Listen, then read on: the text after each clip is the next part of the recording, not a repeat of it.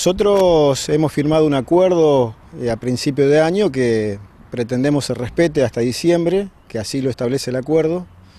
donde bimestralmente se va ajustando, ahora ya mensualmente, el salario a partir de la inflación de dos meses atrás.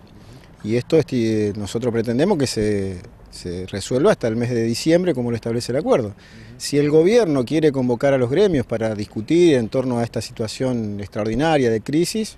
nosotros, como siempre lo hemos hecho,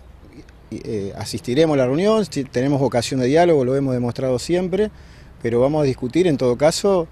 bueno, el impacto que está teniendo esta situación económica y financiera del país en los salarios de los estatales y en relación a la aplicación de la cláusula gatillo. Jamás nos sentaremos a discutir a la baja del salario porque creemos que precisamente todo lo contrario, o sea, para reactivar en, menos en esta crisis la economía hay que ponerle plata al salario a la gente para que consuma, para que esto eh, llegue a los comercios, llegue a la producción y no es la mejor medida eh, caer sobre el salario de los trabajadores y las trabajadoras.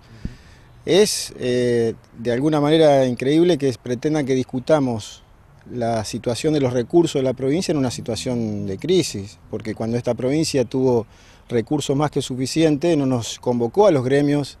a discutir bueno, un alza del salario en virtud que ha tenido mucho más recursos de lo esperado y ha pasado en distintos momentos de, de esta gestión. Así que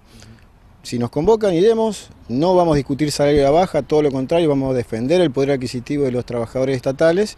y pretendemos que se, cumpla el acuerdo acá a fin de año. Llama la atención que la semana pasada no se mencionaba el tema de la cláusula gatillo, por lo menos no se ponía en juego y ahora hay ciertas dudas sobre su continuidad. El gobernador fue claro hace unos días diciendo que va a respetar el acuerdo y que hasta diciembre va a aplicar y va a pagar la cláusula gatillo. Si hay otra situación, como lo hemos escuchado o leído al ministro de Economía, Gonzalo Saglione, diciendo que es una situación extraordinaria el impacto que va a tener eh, la quita del, impuesto a las ganancias de algunos productos, como es coparticipable no, no se sabe aún cuánto va a, recaer sobre la provincia. Nosotros siempre estamos predispuestos a sentarnos a discutir. Ahora que sepan, creo que es de sentido común que los sindicatos jamás vamos a sentarnos a discutir un salario a la baja.